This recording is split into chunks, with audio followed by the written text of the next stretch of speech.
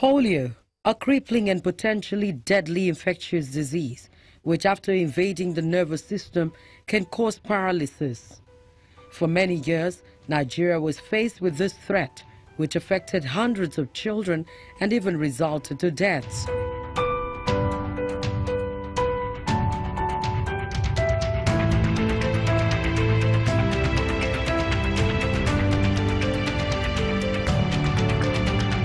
Records showed that in 2012, Nigeria had half of all the polio cases worldwide.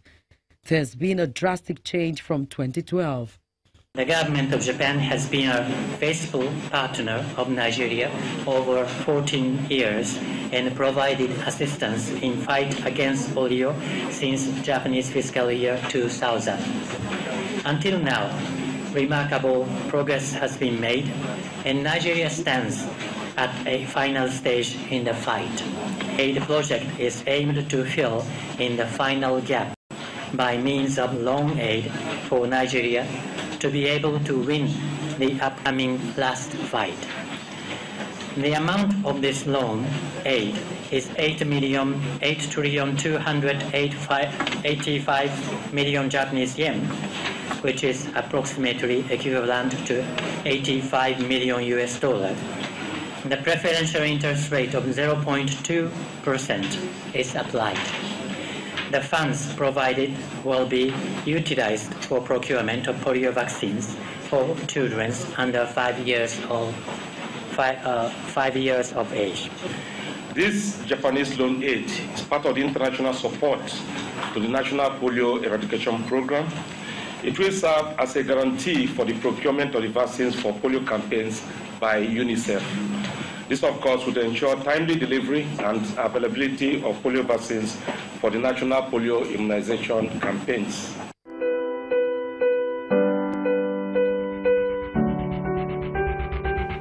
In 2014, Nigeria borrowed $85 million from Japan to fund its fight against polio.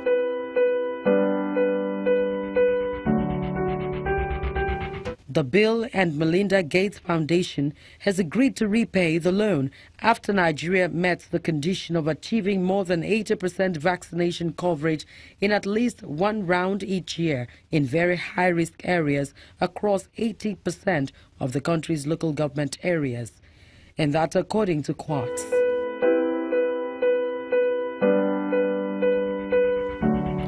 In Nigeria, the Bill and Melinda Gates Foundation work with government, the private sector, and civil society groups to help people out of poverty by giving the opportunity to live healthy and productive lives.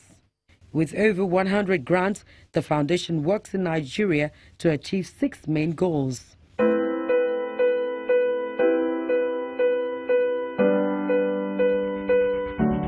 Eradicate polio by working with the World Health Organizations and UNICEF, as well as the National Primary Healthcare Development Agency and state governments to ensure regular vaccinations and immunizations.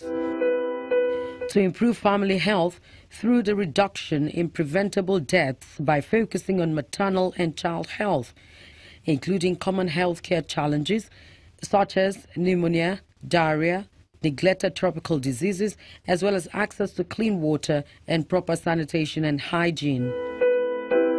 To improve nutrition by partnering with the Dangote Foundation and others to address severe malnutrition and improve overall childhood nutrition. To increase agricultural productivity by providing farmers with better tools, seeds, and systems, and also by supporting research and policies that will help improve the lives of smallholder farmers over the long term, and also to enhance access to financial services.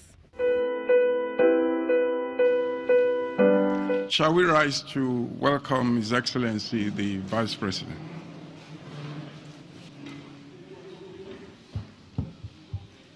The National Economic Council, established and backed by the Constitution, concerns itself with the economic affairs of the Federation and provides measures necessary for the coordination of economic efforts and programs. The NEC, led by the Vice President, Professor Yemi Osinbajo, this time is a special one with special attendance. Royal fathers, ministers, lawmakers, governors, development partners, notable Nigerians, and a special guest, Mr. Bill Gates. Made, uh, at this stage. The expanded National Economic Council focuses on the important role of human capital development in addressing issues of poverty alleviation and inclusive growth.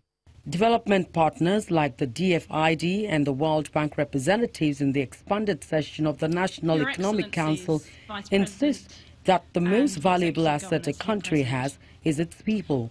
Investing in human capital offers impressive rates of return. Some of these are much greater than other types of investment.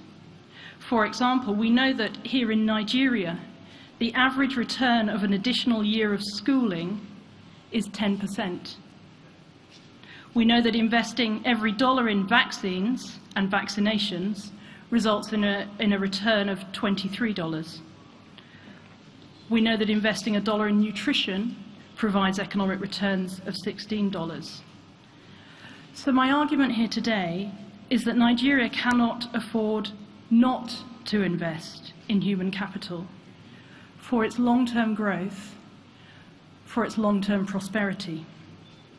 A healthy, well- well-nourished and well-educated population with the skills to access jobs and improve livelihoods is a fundamental building block of economic success. With the rise in population figure and even future prediction of Nigeria becoming the third most populous nation by 2050, there are fears that without a healthy and educated workforce, development and growth will be impeded. More than half of Nigeria's population lives below the poverty line, which is one third of the sub Saharan poor population and over one tenth of the global poverty headcount ratio.